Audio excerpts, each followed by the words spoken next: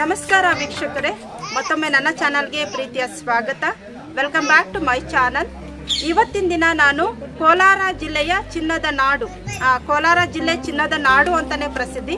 ಕರ್ನಾಟಕದ ಚಿನ್ನದ ನಾಡು ಎಂದೇ ಪ್ರಸಿದ್ಧಿಯನ್ನು ಪಡೆದಿರುವಂತಹ ಕೋಲಾರ ಜಿಲ್ಲೆಯಲ್ಲಿರ್ತಕ್ಕಂತಹ ಅಂತರಗಂಗೆ ಬೆಟ್ಟಕ್ಕೆ ಬಂದಿದ್ದೀನಿ. ಅಂತರಗಂಗೆ ಬೆಟ್ಟಕ್ಕೆ ದಕ್ಷಿಣ ಕಾಶಿ ಅಂತ ಕರೀತಾರೆ. ಶತಶೃಂಗ ಪರ್ವತ ಅನ್ನೋ ಒಂದು ಮತ್ತೊಂದು ಹೆಸರು ಕೂಡ ಈ ಒಂದು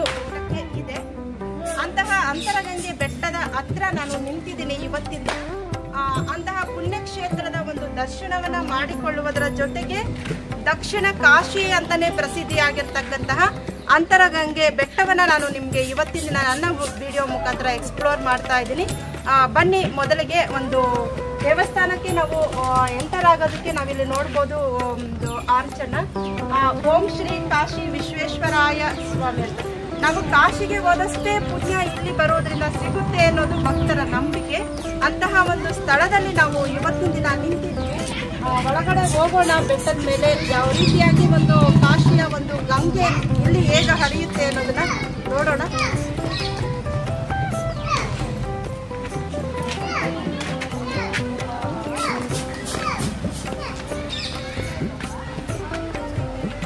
ನಾವು ನೋಡ್ಬೋದು ಬೆಟ್ಟದ ಮೇಲೆ ಹೋಗ್ತಾ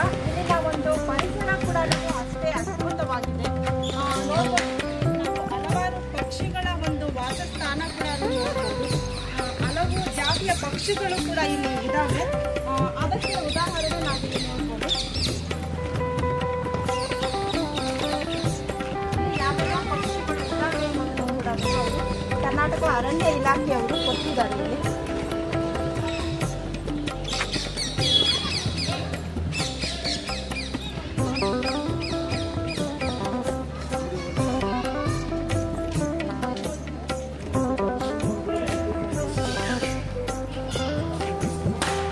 ಮೆಟ್ಲನ್ನ ಹತ್ತಬೇಕಾದ್ರೂ ಕೂಡ ವೀಕ್ಷಕರೇ, ಈ ಬೆಟ್ಟದ ಮೇಲೆ ಹೋಗ್ತಾ ಹೋಗ್ತಾ ನಾವು ಇಲ್ಲಿನ ಇತಿಹಾಸವನ್ನ ಕೂಡ ತಿಳ್ಕೊಳ್ಳೋಣ. ಅಂತರ ಗಂಗೆ ಎಂಬ ಪದದ ಅರ್ಥ ಕನ್ನಡದಲ್ಲಿ ಆಳದಿಂದ ಗಂಗಾ ಅಂತ. ಈ ಸ್ಥಳದ ಪ್ರಮುಖ ಆಕರ್ಷಣೆ ಅಂದರೆ ಕಾಶಿ ವಿಶ್ವೇಶ್ವರ ದೇವಸ್ಥಾನ. ಈ ಸ್ಥಳವನ್ನು ದಕ್ಷಿಣದ ಕಾಶಿ ಅಥವಾ ಶತಶೃಂಗ ಪರ್ವತ ಅಂತ ಕೂಡ ಕರೀತಾರೆ. ಈ ಪರ್ವತವು ಹಲವಾರು ಗಾತ್ರದ ಜ್ವಾಲಾಮುಖಿ ಬಂಡೆಗಳನ್ನು ಮತ್ತು ಅದರ ಸುತ್ತಲೂ ನೈಸರ್ಗಿಕವಾಗಿ ಕೆತ್ತಿದ ಗುಹೆಗಳನ್ನು ಕೂಡ ಒಳಗೊಂಡಿದೆ. ಈ ಪರ್ವತದ ಮೇಲ್ಭಾಗದಿಂದ ಕೋಲಾರದ ಬೆಟ್ಟದ ಸ್ಪಷ್ಟ ನೋಟವನ್ನು ಕೂಡ ನಾವು ಕಾಣಬಹುದು. ಇನ್ನು ಈ ಬೆಟ್ಟದ ಧಾರ್ಮಿಕ ಮಹತ್ವ ಅಂದರೆ ಕಾಶಿ ವಿಶ್ವೇಶ್ವರ ದೇವಾಲಯ.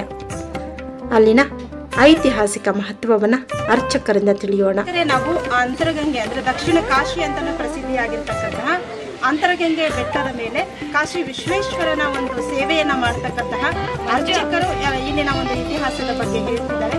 ಆ, ಸ್ವಾಮಿ ಇಲ್ಲಿನ ಇತಿಹಾಸದ ಬಗ್ಗೆ ಹೇಳ್ತೀರಾ ನಮ್ಮ ವೀಕ್ಷಕರಿಗೆ ಹರಿ ಓಂ.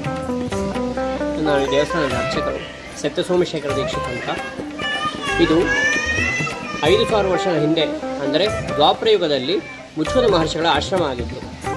ಅವರು ಇಲ್ಲಿ ದೇವರ ಪ್ರತಿಷ್ಠಾಪನೆ ಮಾಡಿ, ಏಕಕಾಲದಲ್ಲಿ ಪಂಚಲಿಂಗ ದರ್ಶನ ಆಗಬೇಕು ಅಂತ ಐದು ಲಿಂಗಗಳನ್ನು ಪ್ರತಿಷ್ಠಾಪನೆ ಮಾಡಿ, ಪಂಚಲಿಂಗ ದರ್ಶನ ಅಂದರೆ ಐದು ಸೋಮವಾರಗಳು ಬಂದಾಗ ತಲಕಾಡಿಗೆ ಹೋಗ್ತೀವಿ ಪಂಚಲಿಂಗ ದರ್ಶನ ಮಾಡಬೇಕು ಅಂತ. ಆದರೆ ಅಲ್ಲಿ ಏಕಕಾಲದಲ್ಲಿ ಆಗಲ್ಲ, ಒಂದೊಂದು ಲಿಂಗ ಒಂದೊಂದು ದೂರದಲ್ಲಿದೆ. ಆದರೆ ಇಲ್ಲಿ ಏಕಕಾಲದಲ್ಲಿ ಪಂಚಲಿಂಗ ದರ್ಶನ ಆಗುತ್ತೆ. ಒಂದೇ ಸರಿ ಐದು ಲಿಂಗಗಳನ್ನ ನೋಡ್ಬೋದು. ಅದನ್ನು ಏಕಕಾಲದಲ್ಲಿ ಪಂಚಲಿಂಗ ದರ್ಶನ ಅಂತೀವಿ. ಐದು ಲಿಂಗ ಪ್ರತಿಷ್ಠಾಪನೆ ಮಾಡಿ ಅವರು ಪ್ರತಿನಿತ್ಯ ಇಲ್ಲಿ ಅಭಿಷೇಕ ಮಾಡೋದಕ್ಕೆ ಶುದ್ಧವಾದ ಗಂಗೆ ಯಾವ ಸಿದ್ಧಾರ್ಥ ಕಾರಣದಿಂದ ಅವ್ರ ತಪೋಬಲದಿಂದ ಪ್ರತಿನಿತ್ಯ ಕಾಶಿಗೆ ಹೋಗಿ ಅಲ್ಲಿ ಸ್ನಾನ ಮಾಡಿಕೊಂಡು ನಿತ್ಯಕರ್ಮಗಳನ್ನು ಮುಗಿಸ್ಕೊಂಡು ಅಲ್ಲಿಂದ ಗಂಗೆ ತಂದು ದೇವ್ರಿಗೆ ಅಭಿಷೇಕ ಮಾಡ್ತಾ ಇದ್ದಾರೆ. ಹೀಗಿರುವಾಗ ಒಂದಿನ ಅವ್ರು ಕಾಶಿಗೆ ಹೋದಾಗ ಗಂಗಾದ ಪ್ರತ್ಯಕ್ಷವಾಗಿ, ಪ್ರತಿನಿತ್ಯ ನೀನು ಇಷ್ಟು ದೂರ ಯಾತಕ್ಕೆ ಬರ್ತೀಯಾ? ನೀನು ಸ್ಥಳಕ್ಕೆ ನಾನು ಬರ್ತೀನಿ ಅಂತೇಳಿ ಋಷಿಗಳು ವಾಗ್ದಾನ ಕೊಟ್ಟು ಅವ್ರ ಕೈಯಲ್ಲಿ ನಿಂಬೆಹಣ್ಣು ಬೆತ್ತ, ಜಪಮಾಲೆ ಇತ್ತಂತೆ. ಇದನ್ನ ಗುರ್ದ್ಗಾಗಿ ಕಳಿಸ್ತೀನಿ. ಅಲ್ಲಿಗೆ ಹೋಗಿ ನೋಡು ಅಂದ್ರೆ. ಅವ್ರು ಬಂದು ಇಲ್ಲಿ ನೋಡೋಷ್ಟರಲ್ಲಿ ದೇವ್ರ ತಳಬಾಗ್ಲಿಂದೆ ಅಂದರೆ ದೇವ್ರ ಕೆಳಗಿಂದಾನೆ. ನಿಂಬೆಹಣ್ಣು ಬೆತ್ತ ಜಪಮಾಲೆ ಮತ್ತು ಗಂಗೆ ನಾಲ್ಕು ವಸ್ತುಗಳು ಬರ್ತಾ ಇತ್ತಂತೆ ಹಾಗೆಯೇ ಈಗೂ ಕೂಡ ಗಾ- ಕಾಶಿಯಿಂದ ಗಂಗೆ ತಂದ್ರೆ ಬರ್ತಾ ಇದೆ ಅಂತ ಹೇಳ್ತಾರೆ. ಆದರೆ ಅದು ಎಲ್ಲಿಂದ ಬರ್ತಾ ಇದುವರೆಗೂ ಯಾರೂ ಕನ್ನಡದವರಲ್ಲ ಐದು ವರ್ಷ ಮಳೆ ಇದ್ದಿದ್ದು ಸಹಿತ ಅದೇ ರೀತಿನೇ ಬರ್ತಾ ಇರುತ್ತೆ. ಈಗ ದಕ್ಷಿಣ ಕಾಶಿ ಅಂತ ಕರೀತಾರೆ. ಅಂತರಗಂಗೆ ಎಂದರೆ ಅಂತರ ಮಾರ್ಗದಲ್ಲಿ ಯಾರಿಗೂ ಕಾಣದೆ ಬರ್ತಾರೆ ಅಂತರಗಂಗೆ ಅಂತ ಹೆಸರು ಈ ನೀರನ್ನ ತಗೊಂಡೋದವ್ರಿಗೆ ಈ ನೀರು ಕುಡಿದವ್ರಿಗೆ ಭಾಳಷ್ಟು ಒಳ್ಳೆಯದಾಗಿದೆ. ಪ್ರತಿನಿತ್ಯ ಇಷ್ಟು, ಈ ನೀರನ್ನ ಕುಡಿತಾ ಇದ್ದರೆ ಎಷ್ಟು ಗುಣಮುಖ ಆಗದೆ ಇರೋ ಕಾಯಿಲೆಗಳು ಕೂಡ ಗುಣಮುಖ ಆಗಿವೆ. ತುಂಬಾ ಧನ್ಯವಾದಗಳು ಸ್ವಾಮಿ. ತುಂಬ ಚೆನ್ನಾಗಿ ಹೇಳ್ಕೊಟ್ಟಿದ್ದೀರಾ. ಇಲ್ಲಿ ಬರುವಂತ ಭಕ್ತರಿಗೆ ನಿಜವಾಗ್ಲೂ ಈ ವಿಡಿಯೋವನ್ನ ನೋಡಿದಾಗ ಖುಷಿ ಅನ್ಸುತ್ತೆ. ಇಲ್ಲಿನ ಒಂದು ಇತಿಹಾಸ ಕೂಡ ಗೊತ್ತಾಗುತ್ತೆ. ತುಂಬ ಧನ್ಯವಾದಗಳು. ನೋಡಿದ್ರಲ್ಲ ವೀಕ್ಷಕರೇ ಇಲ್ಲಿನ ಧಾರ್ಮಿಕ ಮಹತ್ವವನ್ನು? ಈ ದೇವಾಲಯದ ಪ್ರಧಾನ ದೇವರು ಕಾಶಿ ವಿಶ್ವೇಶ್ವರ. ಈ ದೇವಾಲಯವು ಮುಖ್ಯ ಶಿವಲಿಂಗವನ್ನ ಮತ್ತು ಮುಖ್ಯ ಮಂಟಪದ ಬದಿಯಲ್ಲಿ ಸುಮಾರು ಐದು ಲಿಂಗಗಳನ್ನು ಕಾಣಬಹುದು. ಇಲ್ಲಿನ ನೀರನ್ನು ಶಿವನ ತಲೆಯಿಂದ ಬೀಳುವ ಪವಿತ್ರ ಗಂಗೆಯ ನೀರು ಅಂತ ಭಕ್ತರು ನಂಬ್ತಾರೆ. ಸಾಮಾನ್ಯವಾಗಿ ಭಕ್ತರು ದೇವಾಲಯದ ಒಳಗೆ ಪ್ರವೇಶಿಸುವ ಮೊದಲು ಈ ನೀರಿನಲ್ಲಿ ಸ್ನಾನ ಕೂಡ ಮಾಡ್ತಾರೆ. ಏಕೆಂದರೆ ಅಂತರ ಗಂಗೆಯಿಂದ ಬರುವ ಈ ಪವಿತ್ರ ನೀರು ಔಷಧಿಯ ಗುಣಗಳನ್ನು ಒಳಗೊಂಡಿದೆ ಎಂದು ನಂಬಲಾಗುತ್ತೆ. ಹಾಗಾಗಿ ಯಾವುದೇ ರೋಗ ರುಜಿನಗಳು ನಿವಾರಣೆ ಆಗುತ್ತವೆ ಎನ್ನುವುದು ಇಲ್ಲಿನ ಜನರ ನಂಬಿಕೆ. ಅಷ್ಟೇ ಅಲ್ಲ ವೀಕ್ಷಕರೇ ವರ್ಷವಿಡೀ ನಂದಿಯ ಬಾಯಿಂದ ನೀರು ಹರಿಯುತ್ತಲೇ ಇರುತ್ತೆ. ಕಾಶಿ ವಿಶ್ವೇಶ್ವರ ದೇವಸ್ಥಾನವು ಒಂದು ಕೊಳವನ್ನು ಹೊಂದಿದ್ದು, ಇಲ್ಲಿ ಬಸವನ ಬಾಯಿಂದ ಬರುವ ದೀರ್ಘಕಾಲಿಕ ವಸಂತ ಅಂತರ ಗಂಗೆಯಿಂದ ನೀರನ್ನು ಪಡೆಯುತ್ತೆ. ಈ ನೀರಿನ ಮೂಲ ಅಥವಾ ಅದರ ಹುಟ್ಟು ಯಾವುದು ಎಂಬುದು ಇನ್ನೂ ಕೂಡ ತಿಳಿದಿಲ್ಲ. ಮಳೆಗಾಲವಿರಲಿ ಅಥವಾ ಬೇಸಿಗೆಯಾಗಿರಲಿ ವರ್ಷವಿಡೀ ನಂದಿಯ ಬಾಯಿಂದ ನೀರು ಹರಿಯುತ್ತಲೇ ಇರುತ್ತೆ. ಇಲ್ಲಿ ಒಂದಷ್ಟು ಹುಡುಗರ ಜೊತೆ ಕೂಡ ನಮಗೆ ಸಿಕ್ತು. ಆ ಹುಡುಗರು ಕೂಡ ಆ ಒಂದು ಬೆಟ್ಟದ ಮೇಲೆ ಹತ್ತೋದನ್ನ ತುಂಬಾನೇ ಖುಷಿಯಿಂದ ಮುನ್ನೂರ ಐವತ್ತರಿಂದ ಐನೂರು ಮೆಟ್ಟಿಲುಗಳನ್ನು ಹತ್ತಾ ಇದ್ರು. ಮುಖ್ಯ ದ್ವಾರದ ಮೂಲಕ ನಾವು ಮುನ್ನೂರೈವತ್ತರಿಂದ ಐನೂರು ಮೆಟ್ಟಿಲುಗಳನ್ನು ಹತ್ತಬೇಕಾಗುತ್ತೆ. ಇನ್ನು ಇದಕ್ಕೆ ಮತ್ತೊಂದು ಮಾರ್ಗವನ್ನ ಕೂಡ ಇತ್ತೀಚೆಗೆ ನಿರ್ಮಿ ನಿರ್ಮಿಸಿದ್ದಾರೆ. ಅದು ಸುಲಭವಾಗಿ ಮೇಲಕ್ಕೆ ತಲುಪಲು ಕೂಡ ಸಹಾಯ ಮಾಡುತ್ತೆ. ಪ್ರವಾಸಿಗರು ರಾತ್ರಿ ಚಾರಣ ಮತ್ತು ವಿವಿಧ ಅಭಿಯಾನಗಳನ್ನು ಕೂಡ ಇಲ್ಲಿ ನಡೆಸ್ತಾರೆ. ವಿಶೇಷವಾಗಿ ಬೇಸಿಗೆಯಲ್ಲಿ ಈ ಮಹಾನ್ ಪರ್ವತ ಮತ್ತು ಸುತ್ತಮುತ್ತ ಅನೇಕ ಸಾಹಸ ಚಟುವಟಿಕೆಗಳನ್ನು ಕೂಡ ನಡೆಸಲಾಗುತ್ತೆ. ಕೋಲಾರ ಜಿಲ್ಲೆಯ ಪ್ರಮುಖ ಆಕರ್ಷಣೆ ಅಂದರೆ ಈ ಒಂದು ಅಂತರಗಂಗೆ ಬೆಟ್ಟ. ಈ ಬೆಟ್ಟವು ಕೋಲಾರದಿಂದ ಮೂರು ಕಿಲೋಮೀಟರ್ ದೂರದಲ್ಲಿದೆ. ಈ ದೇವಸ್ಥಾನ ಇರುವಂತಹ ಪವಿತ್ರ ಸ್ಥಳ ಕೋಲಾರ ಜಿಲ್ಲೆ. ಅಂತರಗಂಗೆ ಬೆಟ್ಟವು ಅನನ್ಯ ನೈಸರ್ಗಿಕ ಸೌಂದರ್ಯದಿಂದ ಕೂಡಿದೆ. ದಕ್ಷಿಣ ಕಾಶಿ ಎಂದು ಕರೆಯಲಾಗುವ ಈ ಒಂದು ಅಂತರಗಂಗೆ ಬೆಟ್ಟದಲ್ಲಿ ಬಸವನ ಬಾಯಿಂದ ನಿರಂತರವಾಗಿ ಹರಿಯುವ ನೆಲದಡಿಯ ನೀರು ಹಾಗೆಯೇ ಮೀಯುವ ಒಂದು ಕೊಳ ಕೂಡ ಇದೆ. ಪರ್ವತದ ಮೇಲಕ್ಕೆ ಕಡಿದಾದ ಇಕ್ಕಟ್ಟಾದ ಹಾದಿ ಕೂಡ ಇಲ್ಲ. ಈ ಪರ್ವತದ ಸುತ್ತ ತೇರಹಳ್ಳಿ, ಪಾಪನಾಯಕನಹಳ್ಳಿ, ಕೆಂಚೇಗೌಡನಹಳ್ಳಿ ಮತ್ತು ಹಲವಾರು ಇತರ ಏಳು ಹಳ್ಳಿಗಳು ಕೂಡ ಇವೆ. ಇನ್ನು ಈ ಬೆಟ್ಟಕ್ಕೆ ಸಂಬಂಧಿಸಿದ ದಂತಕಥೆಯೊಂದಿದೆ ಈ ಬೆಟ್ಟವು ಪರಶುರಾಮ ಮತ್ತು ಜಮದಗ್ನಿಗೆ ಸಂಬಂಧಿಸಿದೆ. ಹಿಂದೂ ಪುರಾಣದ ಪ್ರಕಾರ ಕರ್ತ ವೀರ್ಯಾರ್ಜುನನನ್ನ ಪರಶುರಾಮನು ಕೊಂದಿದ್ದಾನೆ. ನಂತರ ಜಮದಗ್ನಿಯ ಸಾವು ಹಾಗೂ ರೇಣುಕಾ ಸ್ವಯಂಬಲಿ ಈ ಬೆಟ್ಟದ ಮೇಲೆ ನಡೆದಿದೆ ಎಂದು. ಪರಶುರಾಮನು ಕ್ಷತ್ರಿಯ ವರ್ಗದವರನ್ನ ಕೊಲ್ಲಲು ಈ ಬೆಟ್ಟದ ಮೇಲೆ ಶಪಥ ಮಾಡಲಾಗಿದೆ. ಕಾಶಿ ವಿಶ್ವೇಶ್ವರ ದೇವಾಲಯದ ನೀರು ಬಸವನ ಬಾಯಿಂದ ಬರುವ ಅಂತರಗಂಗೆ ಎಂಬ ಜಲವೆಂದ ಜಲವೆಂದು ಭಕ್ತರ ನಂಬಿಕೆ ಆಗಿದೆ. ಇನ್ನು ದೇವಾಲಯದ ಹಿಂದೆ ಅರಣ್ಯಕ್ಕೆ ಹೋಗುವಂತಹ ಮಾರ್ಗ ಕೂಡ ಇದೆ. ಅಂತರಗಂಗೆಯ ಬೆಟ್ಟಗಳು ಚಾರಣ ರಾಕ್ ಕ್ಲೈಂಬಿಂಗ್, ರಾತ್ರಿ ಸಂಚರಣೆ ಮತ್ತು ಇತರ ಸಾಹಸ ಚಟುವಟಿಕೆಗಳಿಗೂ ಕೂಡ ಸೂಕ್ತ ತಾಣ ಆಗಿದೆ. ಅಷ್ಟೇ ಅಲ್ಲ, ಈ ಪರ್ವತದಲ್ಲಿ ನಾವು ಸಾಕಷ್ಟು ಕೋತಿಗಳನ್ನು ಕೂಡ ಕಾಣಬಹುದು. ಇಲ್ಲಿಗೆ ಭೇಟಿ ನೀಡುವವರು ಕೋತಿಗಳ ಕಾಟದಿಂದ ಜಾಗರೂಕರಾಗಿ ಇರಬೇಕಾಗುತ್ತದೆ.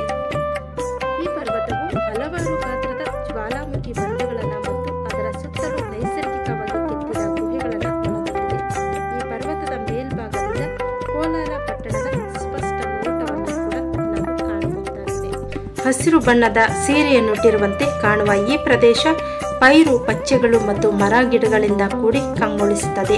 ಇಲ್ಲಿ ಅನೇಕ ನಿಗೂಢಗಳನ್ನು ಕೂಡ ಹೊಂದಿರುವ ಈ ಪುಣ್ಯಕ್ಷೇತ್ರ ನಮ್ಮ ನಾಡಿನಲ್ಲಿರುವುದು, ನಮ್ಮ ಕೋಲಾರ ಜಿಲ್ಲೆಯಲ್ಲಿರುವುದು ಹೆಮ್ಮೆಯ ಮಾತು. ನಮ್ಮ ಹಿರಿಯರು ಉಳಿಸಿಕೊಂಡು ಬಂದಿರುವ ಈ ಐತಿಹಾಸಿಕ ಸ್ಥಳದ ಬಗ್ಗೆ ನಾವು ತಿಳಿದುಕೊಳ್ಳುವುದು ಕೂಡ ಹೆಮ್ಮೆಯ ವಿಷಯ. ವಿಜ್ಞಾನಿಗಳಿಗೆ ಸವಾಲಾಗಿ ನಿಂತಿರುವ ವಿಷಯವೇನೆಂದರೆ ನಂದಿಯ ಬಾಯಿಯಿಂದ ಬರುವ ತೀರ್ಥದ ಮೂಲ ಕಂಡುಹಿಡಿಯಲು ಯಾರಿಂದಲೂ ಆಗಿಲ್ಲ ಎಂದು ಎನ್ನುವಂತಹದು. ಇದು ನಿಗೂಢವಾಗಿಯೇ ಉಳಿದಿದೆ. ಕಾರ್ತಿಕ ಮಾಸದ ಹುಣ್ಣಿಮೆಯ ದಿನ ಲಕ್ಷ ದೀಪೋತ್ಸವವನ್ನು ಕೂಡ ಈ ಸ್ಥಳದಲ್ಲಿ ಹಮ್ಮಿಕೊಳ್ಳಲಾಗುತ್ತದೆ.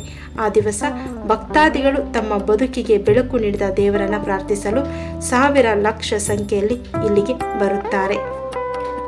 ಈ ದಿನ ಎಲ್ಲ ಹೆಣ್ಣು ಮಕ್ಕಳು ಮಡಿಯನ್ನು ಉಟ್ಟು ಬೆಳಗಿನ ಜಾವದಲ್ಲಿ ಸ್ನಾನ ಮಾಡಿ ಆಡಂಬರವಿಲ್ಲದೆ ದೇವರಿಗೆ ಪೂಜೆಯನ್ನು ಸಲ್ಲಿಸ್ತಾರೆ. ನಮಗೆಲ್ಲ ಗೊತ್ತಿರುವ ಹಾಗೆ ಶಿವ ಅಭಿಷೇಕ ಪ್ರಿಯ ಆ ದಿನ ಫಲಪುಷ್ಪಗಳನ್ನು ದೇವರಿಗೆ ಅರ್ಪಿಸಿ ಸುಖವನ್ನು ನೀಡಲು ಕೂಡ ಪ್ರಾರ್ಥಿಸುತ್ತಾರೆ. ಹಬ್ಬದ ವಾತಾವರಣ ಅಲ್ಲಿ ಏರ್ಪಡಿಸುತ್ತದೆ.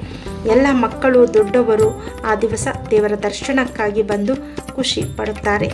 ದೇವಸ್ಥಾನವು ದೀಪಗಳಿಂದ ಕೂಡಿದ್ದು ಜನರಿಗೆ ಆಶಾಕಿರಣವಾಗಿ ಕೂಡ ಕಾಣಿಸುತ್ತದೆ. ಇನ್ನು ವೀಕ್ಷಕರೇ, ನಾವು ನೋಡ್ತಾ ಇರುವಂತಹದ್ದು ದಕ್ಷಿಣ ಕಾಶಿ ಎಂದು ಕರೆಯುವ ಗುಪ್ತಗಾಮಿನಿಯಾಗಿ ಹರಿಯುವಂತಹ ಗಂಗೆಯನ್ನ. ಅಲ್ಲಿ ವಾಸಿಸುವ ಸಣ್ಣ ಮಕ್ಕಳಿಗೂ ಕೂಡ ಇದರ ಮಹತ್ವದ ಬಗ್ಗೆ ತಿಳಿದಿದೆ. ಅಂತೆಯೇ ನಮ್ಮ ಜೊತೆಯಲ್ಲಿ ಕೂಡ ಒಬ್ಬ ಬಾಲಕ ಈ ವಿಷಯಗಳನ್ನು ತಿಳಿಸ್ತಾ, ನಮ್ಮ ಜೊತೆ ಹಂಚಿಕೊಳ್ತಾ, ನಮ್ಮ ಜೊತೆಯೇ ಓಡಾಡ್ತಾ ಇದ್ದ. ಇನ್ನು ಶಿವಲಿಂಗ ಇರ್ತಕ್ಕಂತಹ ಒಂದು ಸ್ಥಳದಲ್ಲಿ ನಾವು ಈ ನಂದಿಯ ಬಾಯಿಯಿಂದ ನಿರಂತರವಾಗಿ ಗಂಗೆ ಹರಿಯುತ್ತಲೇ ಇರುತ್ತಾಳೆ. ಇಲ್ಲಿಗೆ ಬರುವಂತಹ ಭಕ್ತರು ಈ ನೀರನ್ನು ಕುಡಿಯುತ್ತಾರೆ. ಹಾಗೆ ಕೆಲವರು ಈ ನೀರಿನಿಂದ ಸ್ನಾನ ಕೂಡ ಮಾಡ್ತಾರೆ. ಪುಣ್ಯ ದಿನಗಳಾದ ಶಿವರಾತ್ರಿ ಮೊದಲಾದಂತಹ ದಿನಗಳಲ್ಲಿ ಬಂದು ಇಲ್ಲಿ ಸ್ನಾನ ಕೂಡ ಮಾಡ್ತಾರೆ. ಇಲ್ಲಿ ಸ್ನಾನ ಮಾಡುವುದರಿಂದ ವಾಸಿಯಾಗದೇ ಇರತಕ್ಕಂತಹ ಅನೇಕ ರೋಗಗಳು ಕೂಡ ವಾಸಿಯಾಗುತ್ತವಂತೆ. ನೋಡಿ ವೀಕ್ಷಕರೇ, ನಮ್ಮ ಜೊತೆ ಬಂದಂತಹ ಈ ಪುಟ್ಟ ಬಾಲಕ ಅಲ್ಲಿಯ ವಾಸ ಮಾಡುವಂತಹ ಹುಡುಗ. ಈ ಹುಡುಗ ಅಲ್ಲಿ ನೀರು ಮೊದಲು ನಂದಿಯ ಬಾಯಿಯಿಂದ ಬರ್ತಾ ಇತ್ತು. ಈಗಲೂ ಕೂಡ ನಂದಿ ಬಾಯಿಂದ ತೊಟ್ಟಿಕ್ಕುತ್ತೆ ಅದಾದ ನಂತರ ಇತ್ತೀಚೆಗೆ ಪಕ್ಕದಲ್ಲಿ ಒಂದು ಮಾರ್ಗವನ್ನು ಮಾಡಿದರಂತೆ. ಅಲ್ಲಿಂದ ನೀರು ನಿರಂತರವಾಗಿ ಹರಿತಾನೆ ಇರುತ್ತೆ ಅಂತ ಹೇಳ್ತಾ ಇದ್ದ. ನಾವು ಕೂಡ ಅದನ್ನು ಕಣ್ಣಾರೆ ನೋಡಿದ್ವಿ. ಕ್ಯಾಮ್ರಾದಿಂದ ಕೂಡ ನಾನು ಫೋಕಸ್ ಮಾಡಿ ನೋಡಿದ್ವಿ. ಬಸವನ ಬಾಯಿಂದ ನೀರು ತೊಟ್ಟಿಕ್ತಾ ಇತ್ತು. ಪಕ್ಕದಲ್ಲೇ ನೀರು ನಿರಂತರವಾಗಿ ಹರಿತಾ ಇತ್ತು. ಆ ನೀರು ಕುಡಿಯೋದಕ್ಕೂ ಕೂಡ ನಾನು ತುಂಬಾ ರುಚಿಯಾಗಿತ್ತು. ಒಂಥರ ವಿಶೇಷವಾಗಿ ಅನಿಸ್ತು. ನನಗೂ ಕೂಡ ಅಲ್ಲಿನ ನೀರನ್ನು ಕುಡಿದು ನಾನು ಕೂಡ ಅಲ್ಲಿನ ಒಂದು ಪವಿತ್ರತೆಯ ಬಗ್ಗೆ ತಿಳಿದುಕೊಂಡಾಗ ಧನ್ಯತೆ ಭಾವ ಮೂಡಿ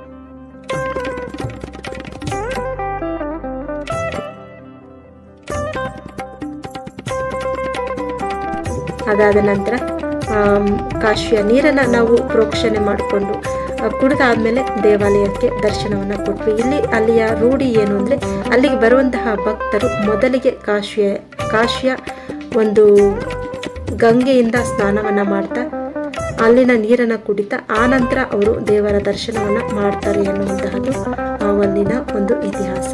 ನಾವು ಕೂಡ ಹಾಗೆಯೇ ಮಾಡಿದ್ವಿ. ಆ ನಂತರ ದೇವಾಲಯದ ದರ್ಶನಕ್ಕೆ ಹೊರಟ್ವಿ. ಆ ಅದ್ಭುತವಾದಂತಹ ಕಾಶಿ ವಿಶ್ವೇಶ್ವರನನ್ನು ಕಣ್ ತುಂಬಿಕೊಂಡಾಗ ನನಗೂ ಕೂಡ ನಾನು ತುಂಬಾ ಖುಷಿ ಅನ್ನಿಸ್ತು.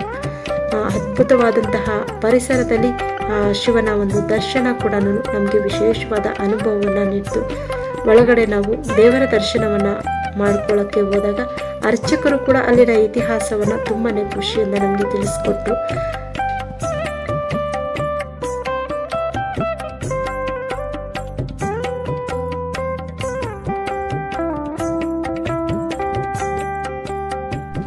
ನೋಡಿ, ಇದೇ ಜಾಗದಲ್ಲಿದೆ. ಆ ಋಷಿ ಮುನಿಗಳು ತಪಸ್ಸನ್ನ ಮಾಡ್ತಾ ಗಂಗೆಯನ್ನ, ಅಂದ್ರೆ ಕಾಶಿಯಲ್ಲಿರ್ತಕ್ಕಂತಹ ಗಂಗೆಯನ್ನ ದಕ್ಷಿಣ ಭಾರತದ ಕರ್ನಾಟಕ ರಾಜ್ಯದಲ್ಲಿರ್ತಕ್ಕಂತಹ ಅಂತರಗಂಗೆ ಬೆಟ್ಟಕ್ಕೆ ಕರೆತಂದ್ರು ಅನ್ನುವಂತಹದ್ದು ಗುಪ್ತಗಾಮಿನಿಯಾಗಿ ಹರಿಯತಕ್ಕಂತಹ ಈ ಗಂಗೆಯಿಂದಲೇ ಪ್ರತಿನಿತ್ಯ ಶಿವನಿಗೆ ಅಭಿಷೇಕ ನಡೀತಾ ಇತ್ತು ಋಷಿಮುನಿಯಿಂದ ಎನ್ನುವಂತಹದ್ದು ಇಲ್ಲಿಯ ಒಂದು ಇತಿಹಾಸ. ಅಂತಹ ಅದ್ಭುತ ಇತಿಹಾಸವನ್ನು ತಿಳಿದುಕೊಳ್ತಾ, ಅಲ್ಲಿನ ಪರಿಸರವನ್ನು ಸವಿತಾ ನಾವು ಕೂಡ ದಿನ ಕಳೆದದ್ದೇ ಗೊತ್ತಾಗಿಲ್ಲ. ದಿನ ಪೂರ್ತಿ ನಾವು ಅಂತರಗಂಗೆ ಬೆಟ್, ಬೆಟ್ಟದ ಮೇಲೆ ಅಲ್ಲಿನ ಒಂದು ಪರಿಸರವನ್ನು ಅಲ್ಲಿ ಇತಿಹಾಸವನ್ನು ತಿಳಿದುಕೊಂಡು ಅಲ್ಲಿನ ಒಂದು ಸ್ಥಳದ ಮಹತ್ವವನ್ನು ತಿಳಿದುಕೊಂಡ ನಂತರ ಅಲ್ಲಿಂದ ವಾಪಸ್ ಬರೋದಕ್ಕೇನೆ ನಮಗೆ ಮನಸ್ಸಾಗಲಿಲ್ಲ ಅಷ್ಟು ಅದ್ಭುತವಾದಂತಹ ಒಂದು ನಿಸರ್ಗ ಸೌಂದರ್ಯವನ್ನು ನಾವು ಅಂತರ ಗಂಗೆ ಬೆಟ್ಟದಲ್ಲಿ ಕಂಡೆವು. ಆದರೆ ಎಚ್ಚರಿಕೆ ಹೋಗುವಾಗ ಅಲ್ಲಿ ಕೋತಿಗಳ ಕಾಟ ತುಂಬಾ ಇತ್ತು. ಆದರೆ ಯಾರಿಗೂ ತೊಂದರೆ ಕೊಡ್ತಾ ಇರಲಿಲ್ಲ. ಅವಷ್ಟಕ್ಕೆ ಅವು ಆರಾಮವಾಗಿ, ಆನಂದವಾಗಿ ಸಮಯವನ್ನು ಕಳೀತಾ ಇದ್ದದನ್ನು ನೋಡಿ ನಮಗೂ ಕೂಡ ಖುಷಿ ಅನಿಸ್ತು. ಅವುಗಳ ಜೊತೆ ಒಂದಷ್ಟು ಸಮಯವನ್ನು ಕಳೆದ್ವಿ ನಾವು ಕೂಡ. ಇನ್ನು ನೀವೇನಾದರೂ ಈ ಒಂದು ಸ್ಥಳಕ್ಕೆ ಭೇಟಿಯನ್ನು ಕೊಡಬೇಕು ಅಂದರೆ ಬೆಂಗಳೂರಿಂದ ಸುಮಾರು ಎಪ್ಪತ್ತು ಕಿಲೋಮೀಟರ್ ದೂರದಲ್ಲಿ ಇದೆ.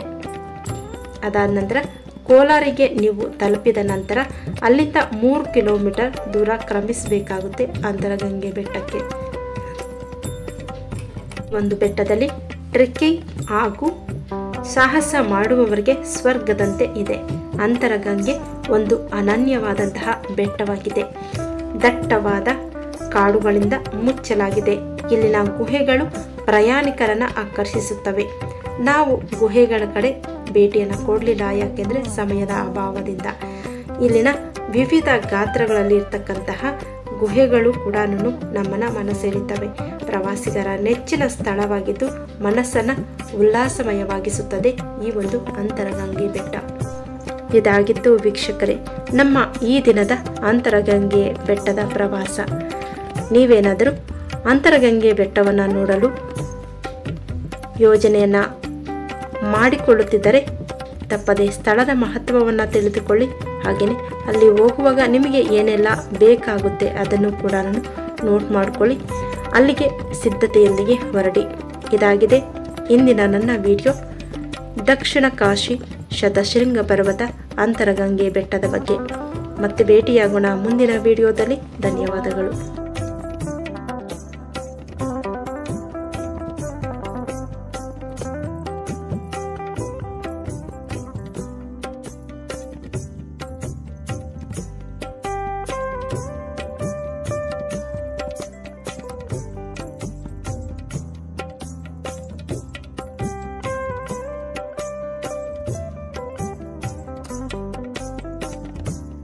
Mm-hmm.